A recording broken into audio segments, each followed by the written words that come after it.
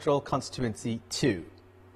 Yadav claimed victory by a margin of 5,081 votes from his nearest contender, Shivachandra Kushwaha of Janamat Party. Yadav bagged 28,415 votes to claim victory in Bara 2. Kushwaha finished second with 23,334 votes, while CPN UML's Purushottam Paudel came in third, collecting 10,216 votes. Likewise, Ramesh Kharel of Rashtriya Swatantra Party finished fourth with 2,229 votes. Speaking after the results were out in the wee hours this morning, victorious Yadav said that people desire change and traditional political parties need to take this seriously. Yadav also committed to working for the economic development of Madhya province.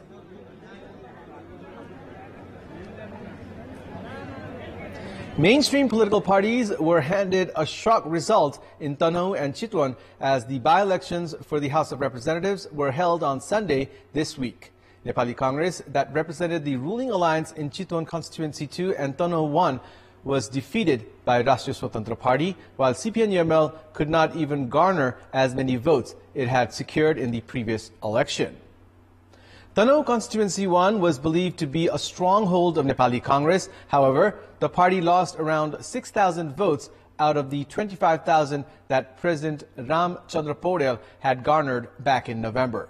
CPN-UML, that had bagged 19,000 votes in the previous election, could not cross the 8,000 mark in Sunday's by-election. Both the parties failed to make a mark in Chitwan Constituency 2 as well as Rashtriya Swatantra Party chairperson Ravi Lamichhane won by a wide margin of almost 43,000 votes. Political analysts say the voters' choice clearly indicate that the public no longer trust in the old parties that are focused rather on power gains instead of addressing the public's issues. They believe the public now want an alternative to traditional parties. The ruling alliance parties at the center are making efforts to form new governments in Gandaki, Lumbini, and Koshi provinces. After Gandaki province governor Prithvi Man Gurung called for the formation of a new province government, Nepali Congress is making preparations to stake its claim for the post of chief minister. The governor has issued a deadline to the political parties until 4 p.m. tomorrow to stake their claims for the formation of the provincial government under Article 168, Sub-Article 2 of the Constitution of Nepal. The largest party in the province, Nepali Congress, is making preparations to stake its claim for chief minister with the support of CPN Maoist Center. Nepali Congress is preparing to make its parliamentary party leader Surendra Pandey the chief minister of Gandaki province. The 60-member Gandaki Provincial Assembly includes 27 members from Nepali Congress, 22 from CPN-UML, 8 from CPN Maoist Center, along with the Speaker, 2 from Rashtriya Prajatantra Party, and 1 independent candidate. Meanwhile, Lumbini Province Governor Amik Sherchan has also called for the formation of a new province government. The governor Governor Sherchan has given parties until 4 p.m. tomorrow to stake their claims for the formation of the provincial government under Article 168, Sub-Article 2 of the Constitution. Only Koshi province has a government led by CPN-UML now. It will not be easy for CPN-UML to sustain the government in the province as ruling alliance parties are doing legworks to form a new government there. We have more news coming up, but right now it's time for another short break.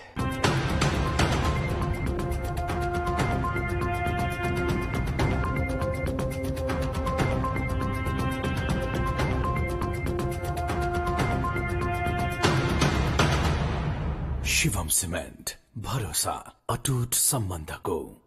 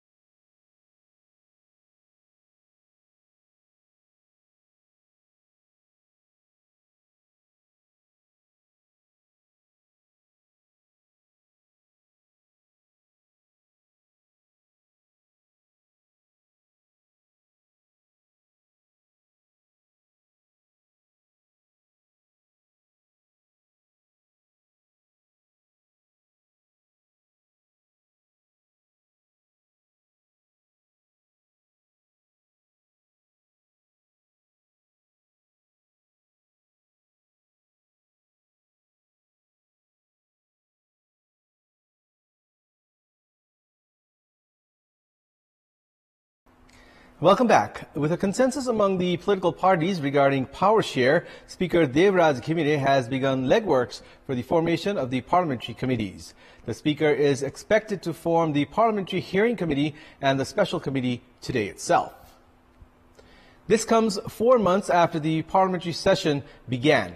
Nepali Congress, CPN Mao Center, and CPN UML, among other major political parties, are to recommend the names of the members, which will be followed by the formation of the committees. Nepali Congress has said that it has almost finalized the names and has claimed it will furnish the list within the deadline given by the Speaker. Another ruling alliance partner, CPN Unified Socialist, has said that the parliamentary committee leadership must be appointed with a consensus. While it is decided that the main opposition CPN-UML will lead three committees, the party has yet to decide who will lead them.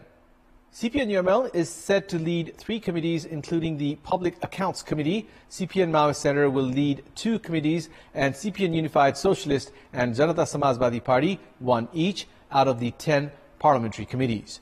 Based on a consensus reached between the political parties, Nepali Congress will lead three committees, including the Parliamentary Hearing Committee. Nepali Congress has made internal preparations to lead a special committee that will be formed to endorse the bill related to transitional justice. However, the ruling alliance has yet to reach an agreement for it. Yesterday marked eight years since the massive April 2015 earthquake struck Nepal with the epicenter in Gorkha. The earthquake killed over 8,000 people and around 900,000 infrastructures sustained damages. However, despite the lapse of eight years, the reconstruction works have remained dissatisfactory. 14,000 earthquake victims have not been granted relief, while construction works of Dharara, which had been inaugurated with much enthusiasm, has yet to complete. Out of the 1,072,093 houses damaged during the earthquake, 832,000 houses had been listed as beneficiaries of the earthquake relief program. So far, 733,000 victims have been able to reconstruct their houses, while almost 100 residential houses are awaiting reconstruction.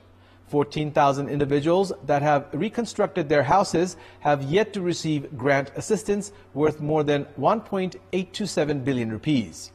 Hearing on 7,000 complaints filed against the National Reconstruction Authority for failing to include them in the list of victims have been awaited. Likewise, reconstruction of Harihar Bhawan and Sri Mahal, which were constructed during the Rana regime, have not been settled. Reconstruction of 117 out of the 920 archaeological structures that had been damaged during the earthquake have not been completed either. The Department of Archaeology has estimated its reconstruction to complete in three years at an expense of more than 2 billion rupees. The department is also responsible for the reconstruction of 215 monasteries in Sindhupalchok, Rasuwa, and Gorkha, among other places, which was undertaken by the then National Reconstruction Authority prior to its dissolution. Reconstruction of only 25 monasteries have begun this year, but their completion is yet uncertain.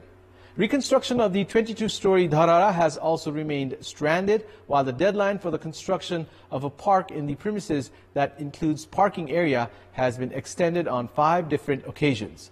Since the 2015 April earthquake that caused damages worth 881 billion rupees, regulations were introduced for the reconstruction and construction of better structures, which have yet to be implemented. It's time now for our segment Public Pulse, where you text us with your opinion. Public Pulse, brought to you by Prabhu Bank, risen for your success. Kathmandu Euroschool, Gangabu Banyatar, Kathmandu. Valley Public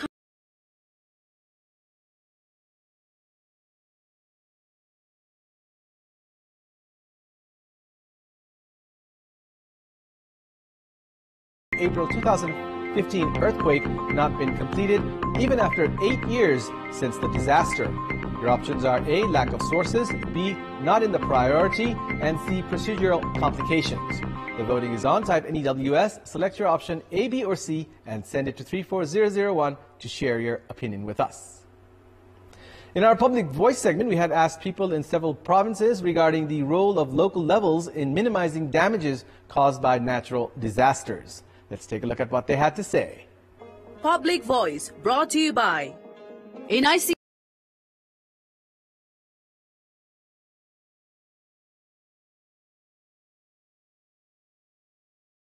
र विकास निर्माणका कामहरू गर्नुपर्ने अवस्था हुन्छ तटबन्ध निर्माण गर्ने जन चेतनाको कार्यक्रम गर्नु पर्यो के के गर्न सकिन्छ त्यसको लागि आफू मनदेखि भित्री तयारी गरिराख्नुपर्छ। स्थानीय तहहरूले पूर्व योजना बनाएर अगाडि बढ्नुपर्छ। स्थानीय विकासबाट यो सहयोग मात्रै भएमा चाहिँ यो विपत्तिको समाधान हुन सक्छ। काठको नस राखेर कसेर बनाउन चाहिँ यो स्थानीय तहले सुझाव दिनुपर्छ।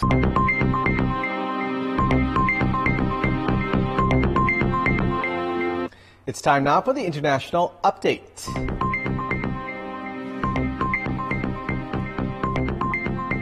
U.S. officials have confirmed that the Islamic State mastermind believed to have been responsible for the 2021 bombing at Kabul's airport has been killed by the Taliban. The August 2021 bombing killed